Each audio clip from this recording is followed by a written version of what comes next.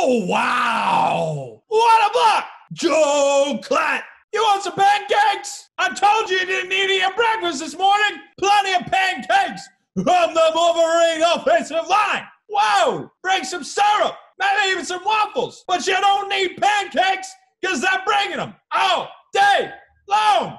Oh, wow. What a run. Because the dinner reservation says I need one for me and my lineman. Because what? Hungry. They say, we already got you. We know six shown for you because you're hungry, ready to eat. Runs him over. Says you like my girl's Instagram picture. I didn't like it.